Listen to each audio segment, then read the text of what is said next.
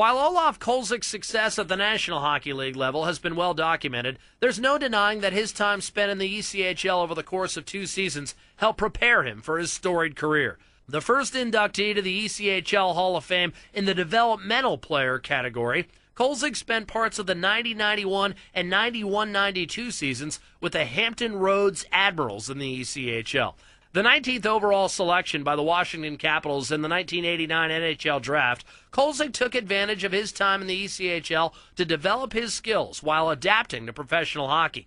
Under the tutelage of legendary head coach John Brophy and surrounded by great teammates, it didn't take long for Kolzig to show he was ready for the next level. During the 90-91 season, Kolzig posted an 11-9-1 record and ranked third in the ECHL in goals against average, while also appearing in three playoff games as the team marched towards a Riley Cup championship. However, it was during the 91-92 campaign where Kolzig would really come into his own, leading the ECHL with a 9-14 save percentage and going 11-3 with a 2.9 goals against average over his 14 regular season appearances.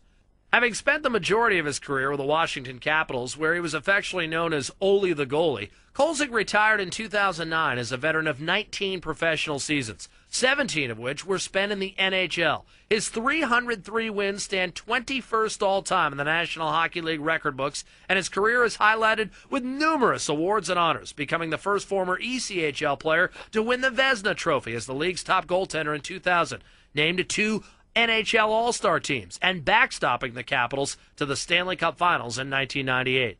The first South African born player to be drafted into the NHL as a German citizen, Kolzig also earned the right to represent Germany in two Winter Olympics, two World Championships, and two World Cup tournaments.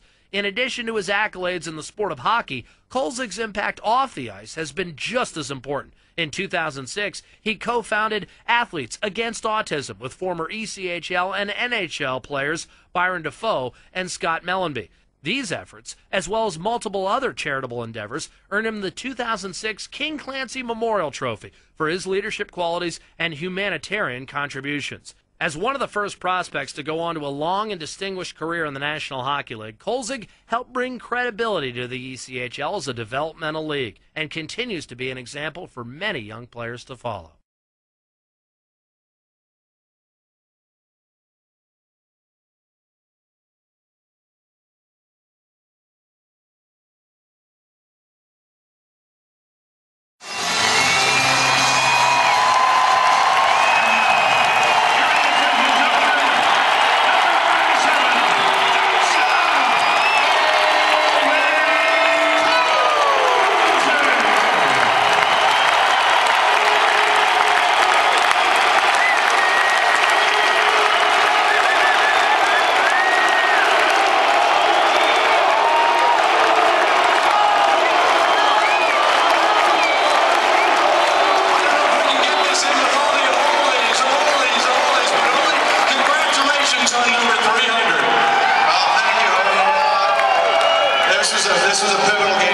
and um, you know, 300 obviously is a bonus. It was more important for us just to get the win, to keep uh, keep pace with the teams ahead of us. So uh, I'll look back at the end of the season in my career and really savor this moment. And thank you, Washington. You've been. Uh,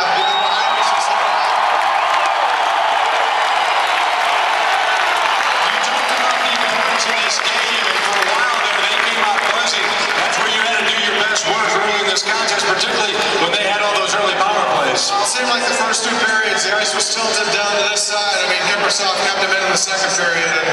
We easily could have had a 4 and 5 2 late after two periods, but uh, it's a, another playoff hockey game, another playoff type atmosphere, and uh, it feels like the playoffs in here when the fans cheer.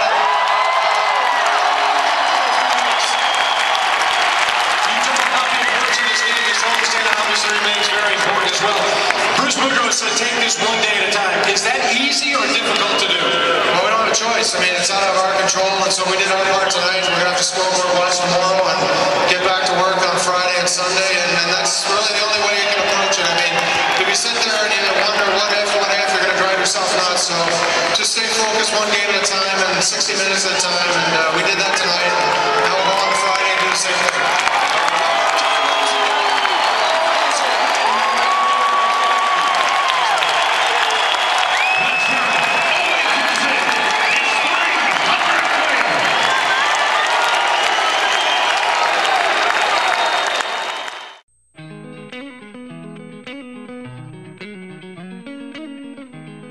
Well, I actually got the nickname Godzilla when I played in Rochester back in uh, 92, 93, and you know I'm a big guy and I, I, you know, I have a I have a pretty good temper, and then you know I play with a lot of passion on the ice, and and as I had a pretty pretty solid year in Rochester. The fans gave me the nickname Godzilla. They said nothing gets by Godzilla, so I got that nickname and uh, kind of shortened it to Zilla on the chin. And you know the first mask we had, um, guys would say it looked like Barney.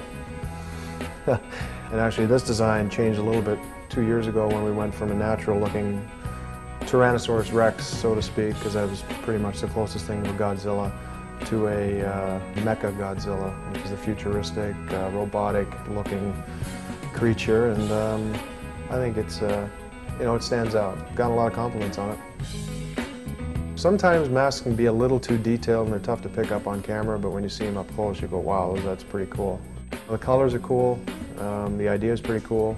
And then, uh, you know, having the monument and, uh, the Capitol building. 9-11 uh, happened and, you know, I wanted to put the Pentagon in there and, and so we did that. And, you know, on my backplate I have my kids' names and the autism ribbon and uh, my other nickname, Olie the Goalie. But other than that, you know, once you have the basic design, it's pretty much what I've worn for, I don't know, 10, 10 12 years now. You know, anytime there's, uh, there's something special to, that I need to like I said, pay tribute to, then I'll do that to my mask.